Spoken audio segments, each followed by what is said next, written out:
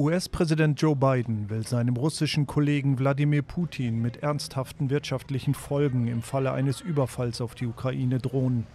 Ein US-Regierungsvertreter sagte im Vorfeld des am Dienstag geplanten Videogesprächs der beiden Präsidenten, die USA hätten zusammen mit ihren europäischen Verbündeten eine scharfe Reaktion für den Fall einer Invasion erarbeitet.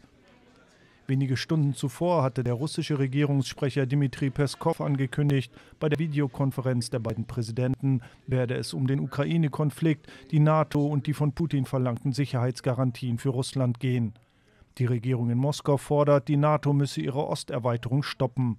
Russlands Nachbarland Ukraine strebt einen Beitritt zu dem westlichen Militärbündnis an, was Russland als Überschreiten einer roten Linie bezeichnet.